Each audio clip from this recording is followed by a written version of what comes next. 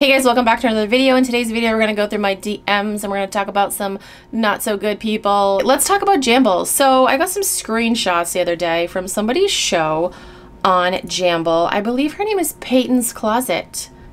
Peyton's Closet. So I recognize the name. I'm like, oh yeah, she was a shit talker. She talked shit about me. Specifically, she said, got anything to say, Vanessa? Because you had a bunch to say online. Oh, I got stuff to say now, Peyton. I do. Somebody sent me screenshots and told me what you did in one of your recent shows, and you're fucking gross. First of all, she was live streaming while she was driving. That's dangerous as fuck. Like, what are you doing? I don't think Jamble would allow that. I don't think they want you to risk your life and others' lives to live stream on Jamble. It's not like you were doing something productive on Jamble. You were talking shit about people with special needs and you were talking shit about homeless people. Like I said, she was live streaming while she was driving and then someone named Softest Silver commented and said, Imagine there's a five car pileup behind you, LMAO. Oh yeah, that's so funny. Imagine that somebody got into a car accident got hurt because Peyton is irresponsible and uh, live streaming while she's driving. Yeah, that's that's hilarious. This is the kind of trash that is on Jamble. Okay, so apparently Peyton was talking about where she works, and she specifically works with someone, I'm not gonna say his name, but she did say his name in her show, but she works with someone who has special needs. And she was making fun of him. She said that he was annoying and slow, and that she uses him to her advantage because he doesn't understand. You're trash. Who the fuck says that? Ayla Rice commented on her show and said, Don't make fun of Sped. I don't know if she was serious. Let's hope and pray that she was serious. And she's like, Hey, you know, what the fuck were you doing? There were only, yeah, there were only seven people in this live, but still, like, one of those seven people should have said, Hey, what the fuck are you doing? Soft Softest Silver, the one who joked about, like, oh, having a car accident and people getting hurt. That's so funny. Soft Softest Silver said, I'm going to block out his name because this is just terrible. But she said, least his name is good for something. This is fucking disgusting. Fucking gross that they would talk about someone like that. I just, I I'm so glad I'm not selling on that app anymore because I don't want to be associated with people like this. Also, you have people on the app that don't know how to follow the rules. I talked in a previous video about how Carly's Closet was doing a mystery bag show and she was breaking the rules by not telling the floor, ceiling, and average prices of the mystery boxes. She was also the one that a few months ago was selling fake Lululemon on Jamble, breaking the fucking law. And then just the other night, Jenny's Vintage Closet. We all know Jenny, right? If you don't, I'll link some videos down below that I have talking about her. She was also doing mystery bags and she wasn't saying the floor, ceiling, and average prices. But these people are still selling on the app, breaking the rules on the app and still selling on the app. Good job, Jamble. I'm telling you, you're you're going places and by places it's not up. I do have an update on the designer unlimited situation where somebody i have to like remind myself about what happened because this was from may 30th that this happened. It is now july second. She won a giveaway in Designer Unlimited's show. She sent messages to them. I talked about this in two previous videos, I think, because I've already done one update on this. Well, here's another update. The last update was on June 24th, and they said that they were going to ship it out that day. She messaged them on June 25th and said, okay, so it's obvious nothing is going to happen here. This is really disappointing, guys.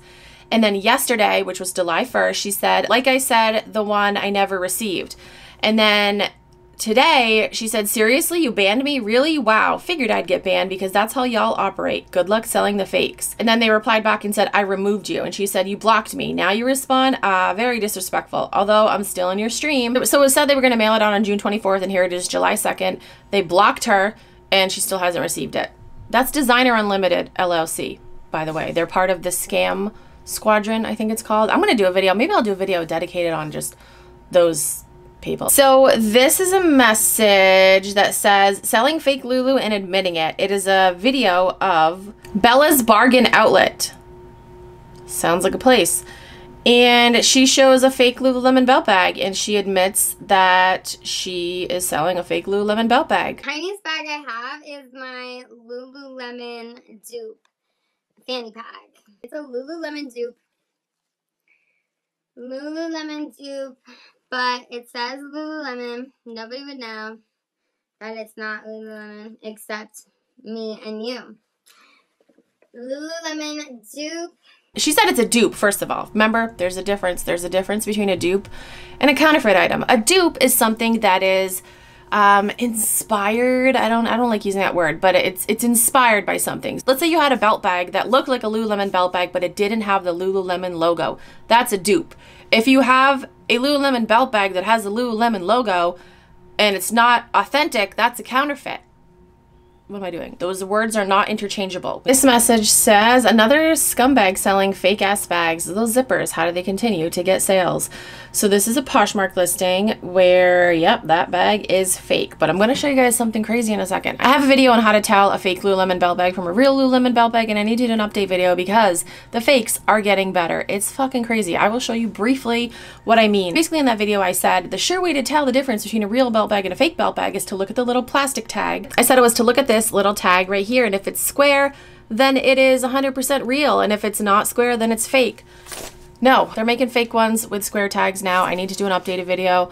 It's crazy. I'll show you some proof. So somebody sent me a message on Instagram and they're like, hey, is this belt bag fake? And I'm like, uh, send me some pictures. Okay, so it's a Sonic Pink belt bag. So immediately I know that it's fake for a couple of reasons. So in this picture, you can see that the zipper is in the middle so fake belt bags come that way. They have like the zipper in the middle and like the zippers are kind of like uh, stuck together on each side. So if you were to zip that to the left, it would be like a little bit like sticky, like the zipper is already stuck together there. Does that make sense? Basically, it looks like it's zipped up from both sides. That's how the fake belt bags come. So that was an immediate red flag. And the silver Lululemon logo is crooked. Oh, the stitching right here, look how messy that stitching is. Like Lululemon would never. Now here's the tag. As you can see, it has a square thing. One thing that was a red flag for me is um, the little rope thing. It's too shiny. It's, it's too shiny. Also, the font is off where it says everywhere belt bag, and then it says a style number, one size. That font is off. But they are clever, and it says SNCP, which is the code for Sonic Pink. A lot of fakes spell out the color names. It would say Sonic Pink spelled out. So this bag is a really, really good fake. These are just a couple pictures. I actually got them today, and I'm like, holy shit, the fakes are getting so much better it's fucking crazy. Like I said, I will do an updated video, so that video is outdated now. And I didn't even make that video too long ago either. It was only like a couple months ago, wasn't it? I think, yeah, it wasn't that long ago. But I think that's it for this video. If there's anything that you want me to talk about, investigate, whatever, you can send me a message on Instagram. I do have two Instagram accounts. I have a private Instagram account, which is only for friends and family, and then I have a public Instagram account. I get requests on my private Instagram all the time. So my public Instagram will be linked in the description box. As always, comment down below and let me know your thoughts. But that's it for this video. Thank you guys so much for watching. I will talk to you guys in my next video. Bye.